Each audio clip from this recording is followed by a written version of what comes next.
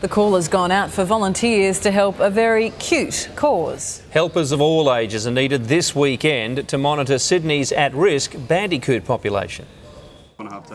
With his superb snout, perfect paws, adorable ears, and fine features, Basil the Bandicoot is a poster boy for his peers.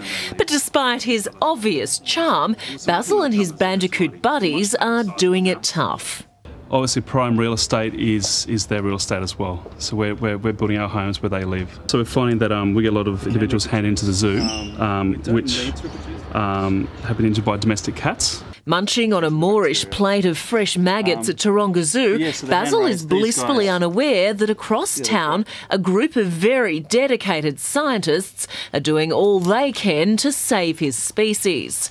This weekend, Earthwatch scientists and volunteers in Manly will use hidden night vision cameras to capture bandicoots and their predators in the wild.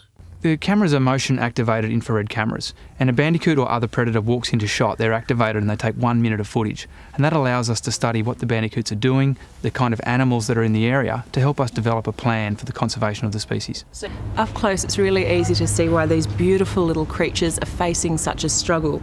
They are so gentle and fragile, they really are no match for the likes of a domestic cat. An Aussie native certainly worth protecting. Gabrielle Boyle, 10 News.